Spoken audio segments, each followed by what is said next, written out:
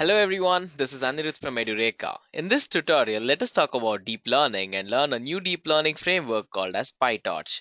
Guys, let's begin. This is the agenda for this session.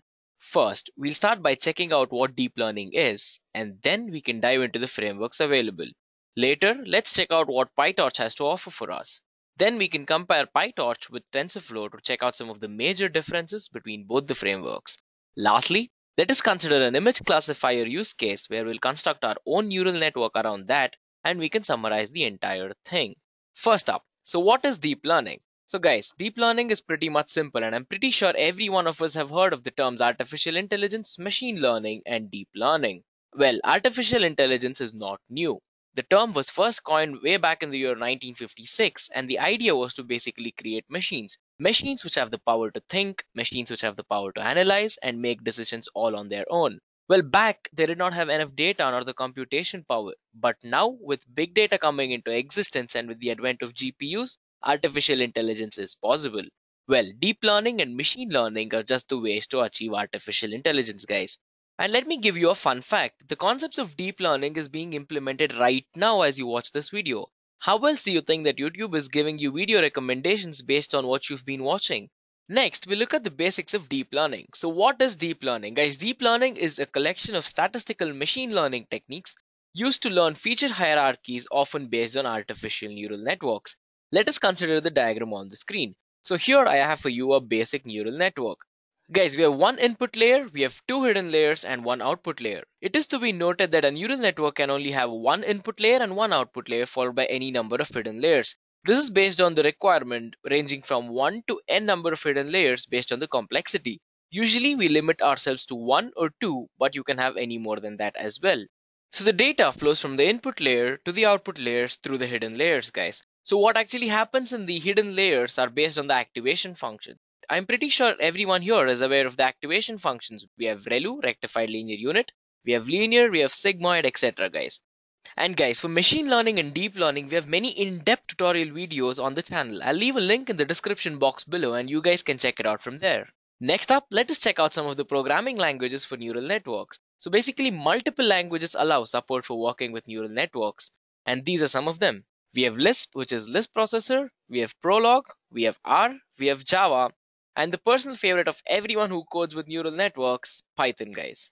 So for the sake of this tutorial, let us consider Python. So let us check out what Python has to offer for us. What are the libraries Python is providing for us?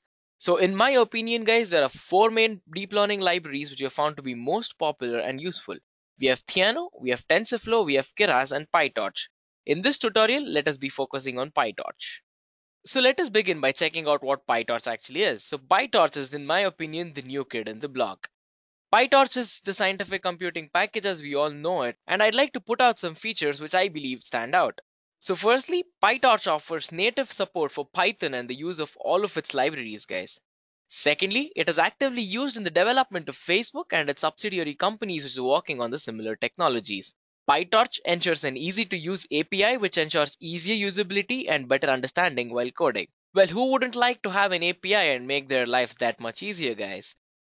Next up, we have dynamic computation graphs. Dynamic computation graphs are the major highlight here, guys, as they ensure that the graph builds up dynamically. So at every point of code execution, we can actually build the graph as you go along and can be manipulated at runtime based on the needs. And PyTorch is fast, guys. PyTorch is definitely really fast and it feels native, hence ensuring easier coding and faster processing. Lastly, we have the support for CUDA. So CUDA is basically NVIDIA's brainchild and their native technology. So the support for CUDA ensures that the code can actually run on a graphical processing unit or the graphic card, thereby decreasing the time which is actually needed to run the code, which increases the overall performance of the system. CUDA stands for Compute Unified Device Architecture, guys. Now that we've checked out some of the features of PyTorch, let us go ahead by checking out how actually PyTorch came into existence. So basically, PyTorch is a cousin of Lua-based Torch framework. It was actively used in the development of Facebook as I previously mentioned. Next up, let us check out on how we can install PyTorch. Guys, let me open up my PyCharm and I'll walk you through on how we can actually install the PyTorch framework. So here in my PyCharm, I'll go to File, I'll go to Settings for New Projects, and here I'll go to Project Interpreter. Here we need to click on the little plus icon on the right side and we need to add certain frameworks. So in our case, we'll be using NumPy, we'll require matplotlib and mainly we'll require the torchvision package. So as soon as that has been downloaded and installed, all we have to do is click on apply and okay and that's about it guys. The frameworks will be ready to use and you can import it and actually start using it. So let me go back to my presentation to see what's next. Next up, let us check out some of the major PyTorch concepts. Guys, first up we need to know some of the basic terminologies. So let us start with tensor. So tensor is an imperative n-dimensional array running on the GPU. We have variable. So variables are nodes in computation graph which is used to store the data and the gradients. We have modules. So basically modules in a neural network layer are used to store states. Basically states are also called as learnable weights guys. Let's head back to PyCharm and let us check out some of the simple code implementation using PyTorch. So after the first step of actually installing all the packages, we'll be importing the torch package here. And firstly, let us start by constructing a 5 cross 3 matrix which is uninitialized. We'll be using torch.empty since it will be an uninitialized matrix and we'll be printing the same. So let me go ahead and run this code for you guys and we can check out the implementation of the empty matrix. So as you can check out guys from the output we have the empty tensor. Next up similarly let us consider another 5 cross 3 matrix but this time we'll be putting random values into it and we can check out the output. So every time you execute this code, the new values are generated. As you can see, we have the tensor output of 5 cross 3 with random values inside it. Next up, let us construct a matrix which is filled with zeros and specifically we'll be mentioning the data type to be long. So we'll be using torch.zeros in this case to put a matrix filled with zeros and we'll be explicitly requiring the data type to be long in this case. So let me go ahead and print this to check the output. As you can see, we have the tensor filled with zeros and it is of the data type long. Next up guys, I want you to look closely into the code. Here we have the dimensions 5.5 and 3 and I'm pretty much you guys guessed it so that is not dimensions. So 5.5 and 3 are actually tensor data and not dimensions. So if I go ahead and print this you'll actually get the output to be 5.5 and 3. That's about it guys it is as simple as that. Next up we'll actually create a tensor which is based on an existing tensor. These methods will reuse all the properties of the input tensor for example the data type or any other dependencies on other packages unless the new values are provided by the user. So let us say you don't want to carry the dependency, but you want new values or you want to change the data type. You will have to explicitly call it in the second tensor if you want to change it. So let me go ahead and run this code and we can check it out. So here basically we'll be filling a tensor with ones and later we'll be overriding the data type from double to be float. So the output we get is basically float data type of the new tensor's value.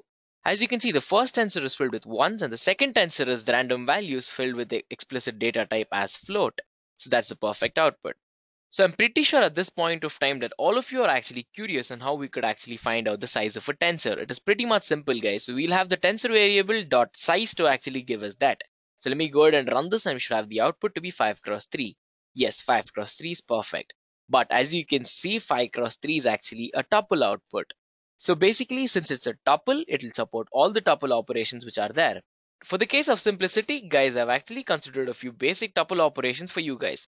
We'll start up with addition. So here we have constructed another tensor y and we have filled it with random values. The dimension is 5 cross 3 as same before. Let us perform an addition operation and let us print both the tensors. As you can see from the output, the output is the sum of both the tensors. Perfect. However, the same operations can be performed using another syntax which is torch.add. It does the exact same thing but this is a simplified version and you can do it in single line. So yes, as you can see, we have the sum output but using a different syntax. So guys, this is based on personal preference. You can pick either one and the output is the same. Next up, let us check out how we can actually reshape the tensor. So here we'll be using torch.view to reshape the tensor. First, we have the random tensor of the dimensions 4 cross 4 and we'll be changing the dimensions of it. Later, we'll be printing the dimensions of all three of the tensors to check it out. So as soon as I run this code, we can actually check out that the dimensions have been changed. As you can see, we have changed the dimensions from the previously initialized y tensor and z tensor. So as you can see, we have the resized tensor as shown in the output. So next up, let us say we only have one element tensor and we want to get the value of it. So by value of it, what I actually mean is we have to get a Python number output. So here, let me walk you through the code.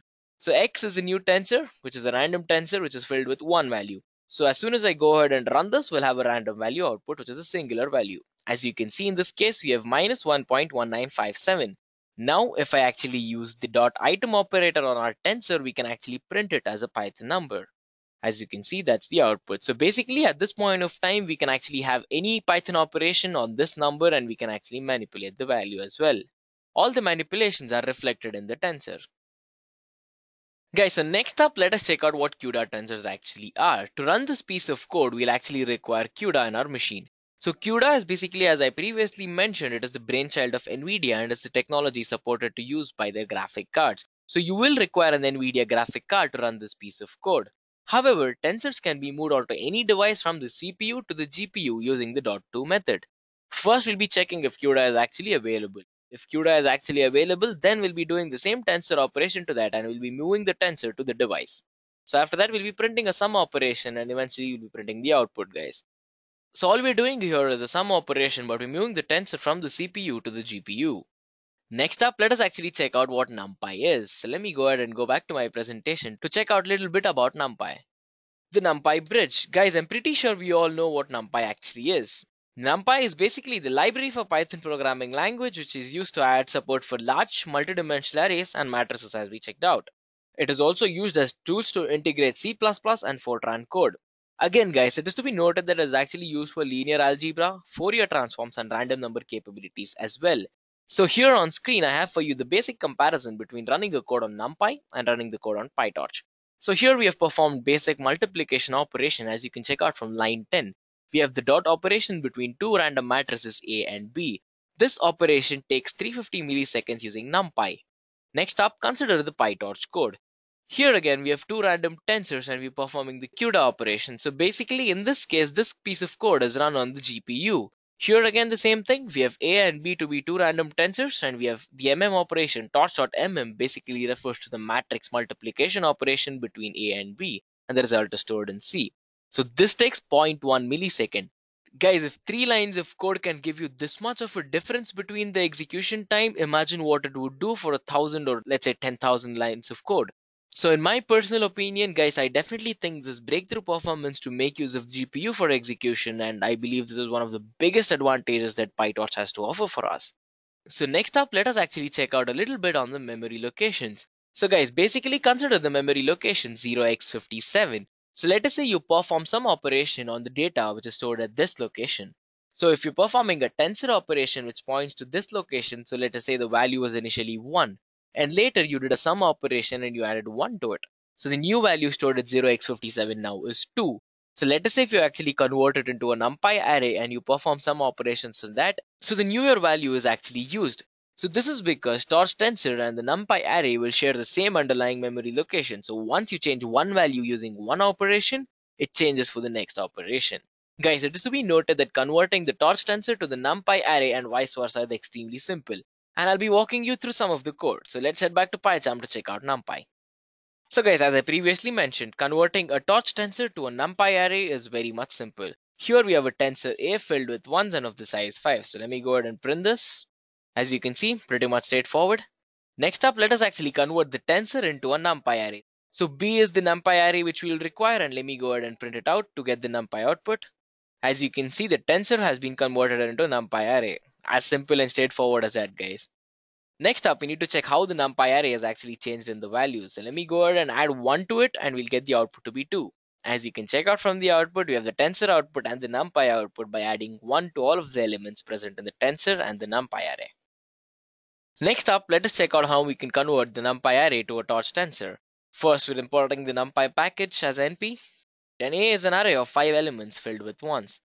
And here we're actually converting the numpy array to the torch tensor considering the parameter to be A. We'll be adding 1 to the output and we'll be printing the same. So let me go ahead and run this code for you guys and you can check out the output to be 2. Perfect. So it's as simple and straightforward as that guys. So let's head back to the presentation to see what's next. So next up, we need to check out the most important thing that PyTorch has to offer for us is the AutoGrad module. So AutoGrad module offers automatic differentiation for us. Firstly, we need to check out how AutoGrad works. So first, we actually record the operations based on the training data set. We replay back all of the values in the data to reduce the losses at every stage. Before this, we need to compute the gradients, guys. So the gradients are actually computed by finding out the negative of the slope and calculating the minima of the trace function of the graph obtained. Guys, I'm pretty sure all of us are familiar with differentiation from our school days or college days. So whatever we did was pretty much simple. However, guys, it is to be noted that automatic differentiation helps us on a big level because the complexity of the differentiation here is extremely vast. So it'll take a really long time to do it manually And by doing it automatically, we'll be saving a lot of time and it is extremely efficient. And so basically this saves time by calculating differentiation of all the parameters at the first pass, which is the forward pass itself. So next up, let us check out a little bit about torch.tensor. So torch.tensor is the central class of package. And to track all the operations on the tensor, we need to have the attribute dot requires underscore grad to be true. And next, after the computation, we need to call the dot backward function. I'll be walking you through the basics of this function in the coming slide, guys. So basically, this is done to compute the gradients. And I'm pretty sure all of you are curious at this point. So after the gradients are computed, where are they stored? They are stored in the dot grad attribute. So any of the operations can be performed on this to update or change the value of the gradients. Next up, we can actually stop tracking history on the tensors. Guys, to do this, we'll be calling the detach method and we have another one which does the exact same thing, which is torch.no underscore grad. So you can use either of these to actually stop tracking tensor history. So however, you will require to change the value of the flag in case you need to start tracking history again. So guys, I hope I was pretty much clear with this. If you have any doubts, go to the comment section and leave a comment below and we can interact there. So next up, let us actually check out on how we can create our own neural network. Guys, it is pretty much really simple and straightforward to create a neural network. So let me walk you through on how it's done. So first to construct the neural network, in our case of using PyTorch, we'll be using the torch.nn package. Guys, so here we'll be defining the modules and automatically differentiate them. We'll be using the AutoGrad module for that purpose. Here we have nn.modules which has methods and layers. Guys, in the methods we have a method called as forward of input which is used to derive the output. Here input is the parameter to the forward function. So it is pretty much as simple as this using the PyTorch package. However, next let me consider a simple image of a convolution neural network. It is also called as a ConvNet or a CNN. So in this case, it is pretty much as simple as getting the input, passing it through the hidden layers and pushing it to the output. Here we have concepts of subsampling and full connections and Gaussian connections. I'll be walking you through this in detail in another tutorial, but for now let us consider this to be our simple feed-forward network guys. And next up, we need to check out our basic training algorithm. So the training algorithm is actually implemented to teach our network to self-sustain and learn on its own. So firstly, here I have a code for you guys. So it is a basic code to actually compute the model output in the first line. Next up, we actually calculate the loss using the loss function by passing it two parameters. The two parameters are the outputs compared to what labels it is supposed to provide. Guys, next we actually have to optimize the network. Here, what we're actually doing is we'll be clearing previous gradients and we'll be using the latest gradients at all steps. This is a very important step as we will not require the previous gradients and it will lead to a lot of ambiguity. Next up, we need to call the backward function to compute the gradients of all the variables with respect to losses and we actually have to reduce the losses at every stage. The last step is to actually use the optimizer to perform updates based on the calculated values. So guys, it is as simple as this. We have the inputs, we calculate the loss at every stage, we backpropagate to reduce the loss and we update the parameters. However, there are three PyTorch variables here guys. Train underscore batch, labels underscore batch and output underscore batch. I'm pretty sure many of you here are actually coders in TensorFlow. So guys, go to the comment section, leave a comment below on how you can actually implement this using TensorFlow and if there is any difference and if you find this to be easier than TensorFlow. So next up, let us check out the training procedure for the neural network. So the first step is to actually define the actual neural network and then we iterate over the data set. Then we actually process the input to compute the loss. So basically iterating over the data set and processing the input is to ensure that our neural network actually makes sense of the input. So at the stage of computing the loss, we actually find out how far away our expected output deviates from the actual output. Next up, we need to propagate these gradients back at every stage to ensure that we reduce the losses as we go along. As you can see guys, this is an iteration process. And lastly, we need to update the weights. Guys, to update the weights, we'll be using something called as SGD or the stochastic gradient descent. The formula is pretty much simple and it is as shown guys. It is actually calculated by using weight equal to weight minus learning rate followed by multiplied by the value of the gradient. I'll be actually walking you through the SGD and the implementation of this in the code section. So I think I'm clear with the training procedure for the neural network and let's go ahead. Before we actually check out some of the code, let us recap some of the basic terms. Guys, torch.tensor is the multidimensional array with support for autograd operations like backward. We have nn.module which is a neural network module which is used for encapsulating parameters to move them to the GPU or the CPU and vice versa. Next up, we have nn.parameter. So nn.parameter is a tensor which is registered as a parameter when assigned as the attribute to that particular module. Next up, we have autograd.function. Guys, autograd.function is actually used to implement the forward and the backward definitions of an autograd operation. So guys, now let us head back to PyCharm to check out some of the simple implementation of how we can actually create our own neural network. So guys, we're back at PyCharm. So basically we're importing the torch.package package here and we're defining the architecture of the neural network. Firstly, we'll be defining the function called as init where we actually define how many channels we'll require for the input and the output. We have one input channel, we have six input channels, and this is basically a 5 cross 5 square convolution, guys. Here we'll be performing an affine operation, which is y equal to wx plus b. So guys, let us take a minute off and go back to our school days, where I'm sure pretty much all of us have actually calculated slope for a line, which is y is equal to mx plus b. We're performing the same operation here as I previously mentioned for all of the to find out slope in our graph. Guys, next up we need to actually define the forward function and here we'll be using ReLU. ReLU is rectified linear unit and the activation function which is used to define the forward function as I previously explained. So next up we need to actually define the nodes. So guys as soon as I execute this piece of code the architecture of our neural network is ready. So let me go ahead and execute this. As you can see we have the output of our convolutions and certain parameters referring to that particular convolution. Next up we actually need to define the forward function and the backward function guys. Guys it is to be noted that you can perform any tensor operations in the forward functions and the gradients are actually computed during the backward function. The learnable parameters of any model can be returned using net.parameters as I've listed here. So let me go ahead and print this piece of code for you guys to actually check out what convolutional 1's weight is. As you can see, 6 input channels, 1 output channel followed by a 5 cross 5 convolution. So as you can see guys, this is actually stored in a tuple. Guys, next up let us actually check out a random 32 cross 32 input. Here the expected input of this case Let's say AliNet is 32 cross 32. However, to use this net on MNIST dataset, we need to resize all the images from our dataset to be 32 cross 32. So as soon as I go ahead and print this, we'll have a tensor output of the size 32 cross 32. As you can see, we have the output there, guys. Next up, we need to zero the gradient buffers as I previously mentioned. We'll zero out the gradients because we'll not require the junk value stored in them and we need to use the latest value of the gradients and this needs to be updated for every iteration. So let me go ahead and zero out all the gradient buffers while running this piece of code.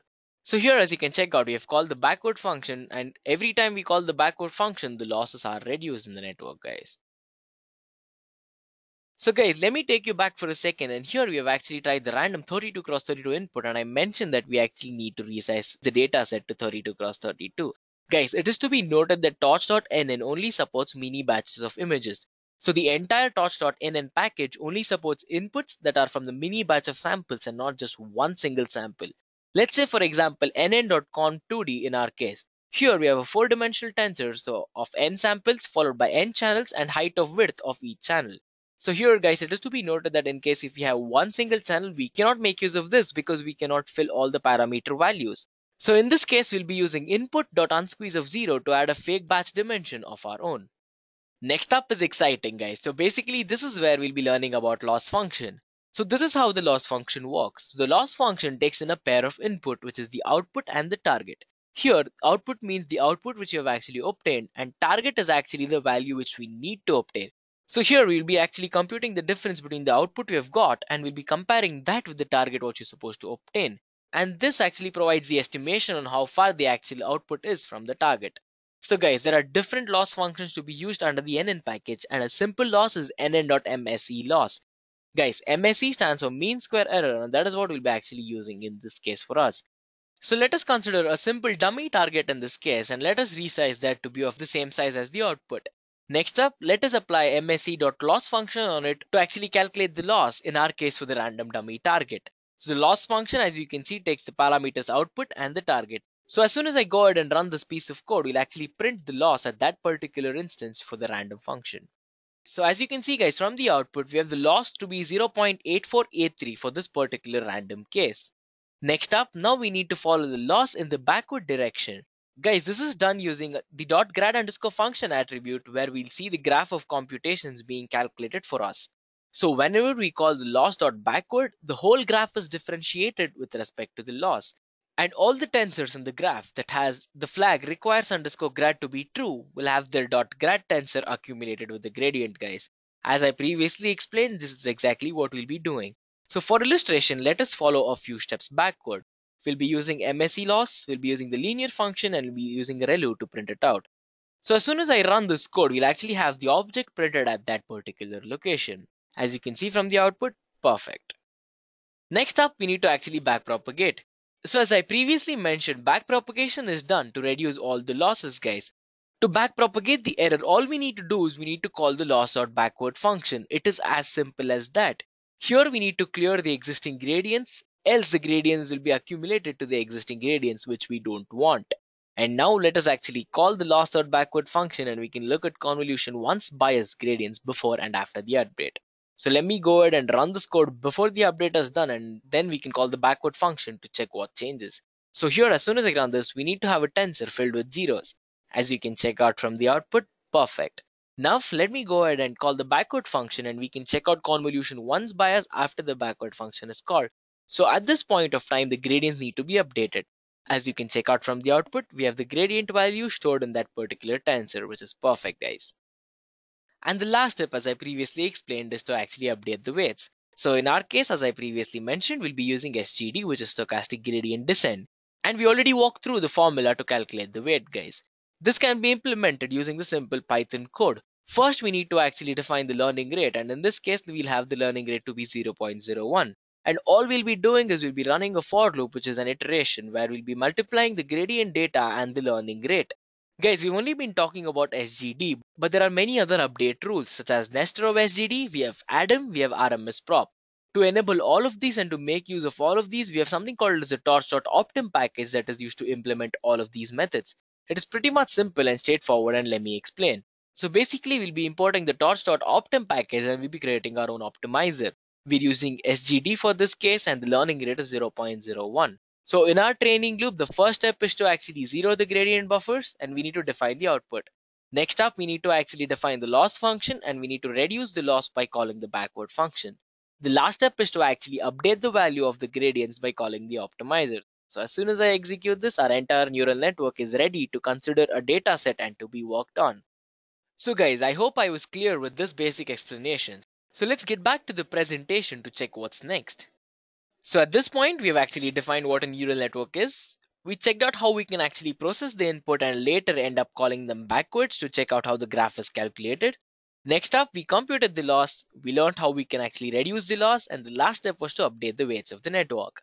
Guys, next up, we'll actually be considering something very interesting and my personal favorite to be PyTorch versus TensorFlow. So let's have an insight comparing both of the frameworks. Guys, firstly, PyTorch offers dynamic computation graphs and TensorFlow does not. So this is the first advantage of PyTorch when you're comparing it to TensorFlow. Next up, PyTorch can make use of standard Python flow control while TensorFlow cannot. So you need to learn specific TensorFlow code for this guys. Next up, PyTorch supports native Python debuggers while TensorFlow does not. So we can use PDB in the case of PyTorch and we cannot with respect to TensorFlow guys.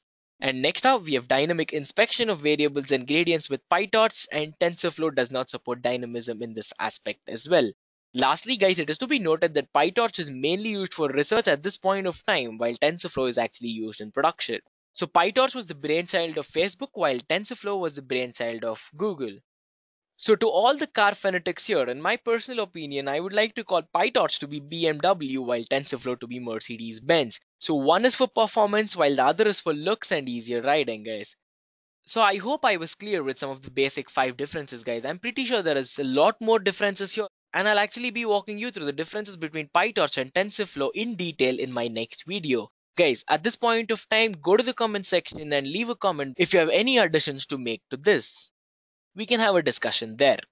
So next up, let us actually check out the use case. Guys, in this case, we'll actually be looking at the working and the generation of an image classifier. So let me go ahead and give you a good example.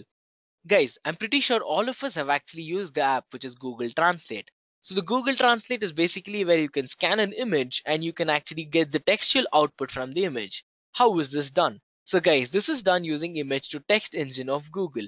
This entire engine is based on neural networks and a certain image classifier set. So basically character recognition and image recognition is what we do with the image data set.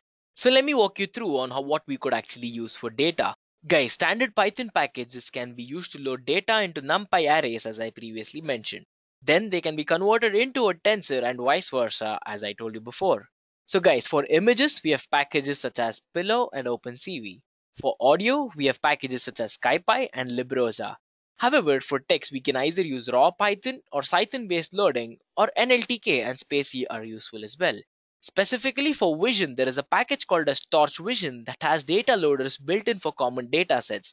So the common datasets can be CIFAR 10, CIFAR 100, ImageNet, MNIST, etc. guys. So in this case, we'll be using torch.datasets to actually implement the data transformation in the images.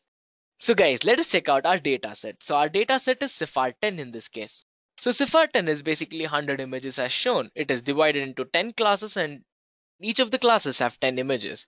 So as you can see guys, the size is 32 cross 32 pixels of all the classes and the images here. So let's go ahead and we can check out how we can actually implement this. So guys, it is pretty much simple and let me walk you through the entire thing. First, we need to actually pre-process the dataset. To do this, we actually load our CIFAR 10 dataset to start out with. Next, we actually read the dataset and we normalize the test dataset. Guys, by normalizing, we actually convert it into tables such that our neural network can actually understand the data. Next, we need to define the loss function, which is used to train the network. So after the network is trained, we need to test the network based on the training data, and this is done in the iteration to actually reduce the loss at every stage. So the more number of training steps, the less the loss. And lastly, we'll actually make predictions on the test data set to check how our network actually performed, guys. So that's about it and let's check out on how we can actually train our image classifier. So the first step is to actually load and normalize the CIFAR 10 using Torch Vision package. And next we actually define the convolutional neural network. And later we define the loss function and then we train the network on the training data to check out the losses and to reduce the loss based on the same. We test the network based on the training data and lastly we update the weights. So guys, the first step is to actually load and normalize the 10 dataset. As I previously mentioned, we already have loaders which are ready and it is pretty much very simple to load 10 using Torch Vision guys. So firstly here we load the data and we normalize the data. As I mentioned by normalizing the data, we actually convert them into tables guys. And this actually becomes the input to our convolutional neural net. Next up, we need to actually define the net. So guys, as I previously mentioned, we have three channel images. So what do I mean by three channel images? Guys, it is pretty much very simple and straightforward and it is the three colors due to the usage of color images. And right, you might have guessed at this point that if it is a black and white image, it has only one channel. So that's pretty much it for this step, guys. We'll be defining the architecture as I previously explained and we'll be walking through that when I take you through the code section. So next up, we need to actually define the loss function and the optimizer. So guys, here I have for you a case of classification cross entropy loss. For those who aren't aware, guys, cross entropy loss is also called as the log loss, which is basically used to measure the performance of a classification model whose output is a probability value. So guys, going back to our school days for a second, we actually realized the value of probability should be between 0 and 1. So cross entropy loss increases as the predicted probability diverges from the actual label. So what I actually mean by that is basically the difference between the actual value obtained to the actual value what we're supposed to get. So let us consider this case. We're predicting a probability of 0.012 when the actual value is 1. This would definitely be a really bad result and it would result in a really high loss guys. However, the perfect model will always have a log loss of 0. And as I previously mentioned, by training the network to reduce the loss, all we do is we actually reduce the loss from a higher value to a lower value guys. So that's about it to actually define the loss function and we'll be updating the values using optimizer as I previously mentioned. So next up, we actually train the network. So to train the network, the first step is to basically loop over the data iterator and feed the inputs, guys. So as soon as the input is fed, we'll actually be optimizing it. And that's about it. Guys, it is as simple as that and you will check out the same when we walk through the code. And the last step is to actually test the network based on the training data.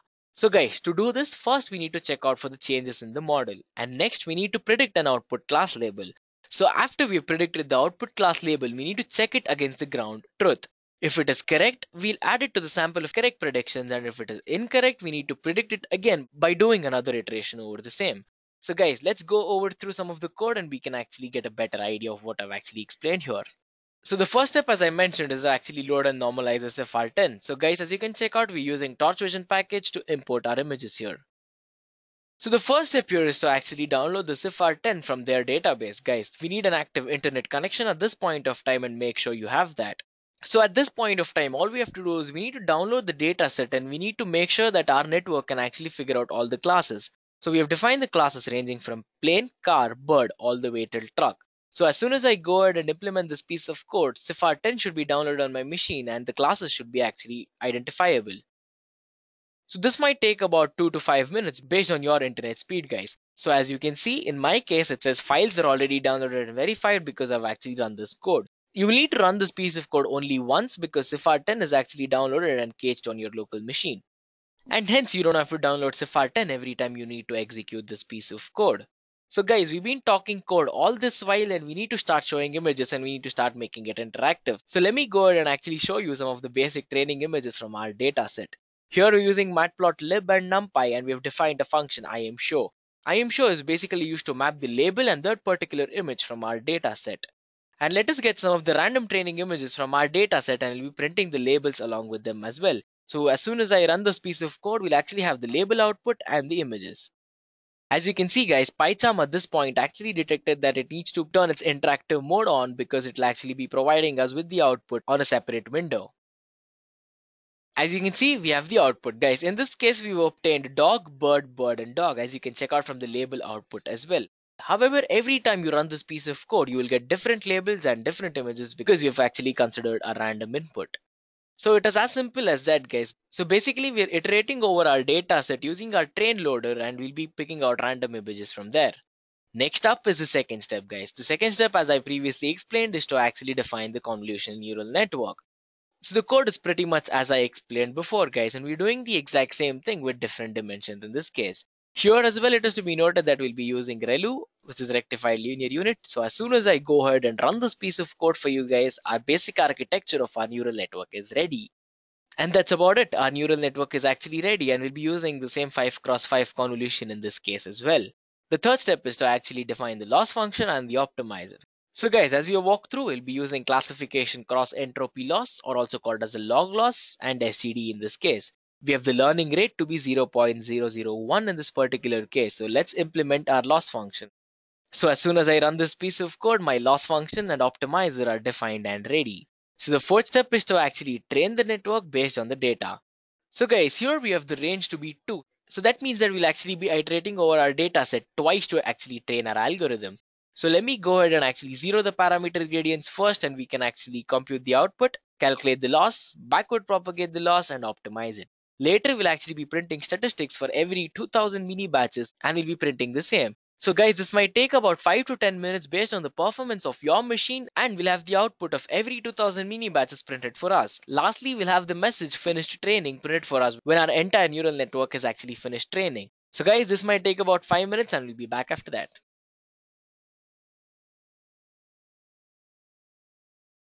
So guys, that took about 2 minutes for me and we can actually walk through the output. So as you can see for the first iteration for the first 2000 images, the loss was actually calculated to be 2.186, which is really high. And the iteration to actually train our dataset as you can see at every step is actually reducing the loss. So from 2.186 we went to 1.797 and it kept reducing further until we actually came to 1.239. Guys, for our case, I do believe that 1.239 is more than sufficient to actually perform detection on our image set. So let's go ahead and check out what the next step is. So the next step is to actually train the network based on the training data. In this case, we have only trained the network for two passes and you can do it any number of times you require and at each pass reduces the loss as I previously explained. Now we need to check if our network has actually learned anything. So we can check this by predicting the class label that the neural network outputs and checking it against the ground truth as I previously showed you in the flow diagram. If it is correct, we'll be adding it to the list of correct predictions. If it is incorrect, we need to train it again. So let me go ahead and print some images to show you what the ground truth actually is, followed by the labels and the images of it. So as you can see, in this case, we have cat, ship, ship, and plane. And you can check out the same from the labels as well.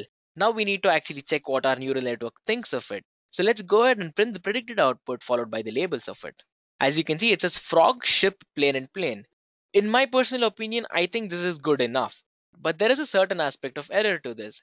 So guys, to be certain about this amount of error, we need to actually pass the entire dataset to this piece of code to check what our network actually thinks of it.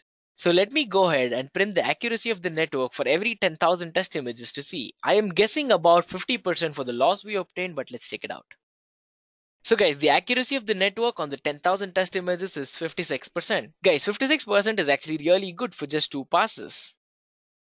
And this actually makes sense instead of randomly predicting our data, right? So lastly, we need to check what are the classes that actually performed really well and what are the classes that actually didn't perform well.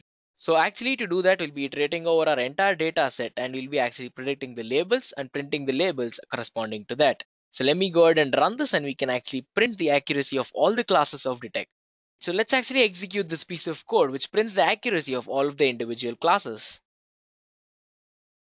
So guys, as you can check out, the accuracy of detection of the plane is 66%, accuracy of detection of the car is 79%, so on until horse. This is an extremely decent result for just two passes guys. So let's head back to our presentation to check out what's next. So guys, the results. The results definitely seemed pretty good and the network actually learned something with just two passes. And we already checked on how it actually performs based on the whole training data set. So guys, this was the conclusion what we actually obtained. Well, the accuracy of the detection for the plane to be 58% and it went all the way till the accuracy of the truck to be 55%. However, the highest performing in our case was the detection of the car, which is supposed to be easiest at 78%, guys.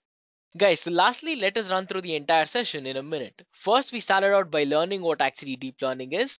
Next, we actually checked out some of the basic programming languages which provide support to actually learn deep learning. Next, we checked out what Python has to offer for us and the libraries of Python. We introduced PyTorch and some of the basic code for the implementation of PyTorch. Next, we actually compared PyTorch and TensorFlow. And lastly, we went over our use case implementation of our CIFAR 10 dataset and we printed the result. I hope I was pretty much clear with the explanation of all of the concepts guys and we'll be talking about PyTorch more in the further sessions. So thank you guys, this was it for this small session. If you have any queries, leave a comment and subscribe to our channel for more information on the latest technologies and the courses offered. I hope you have enjoyed listening to this video. Please be kind enough to like it and you can comment any of your doubts and queries and we will reply them at the earliest. Do look out for more videos in our playlist and subscribe to Edureka channel to learn more. Happy learning!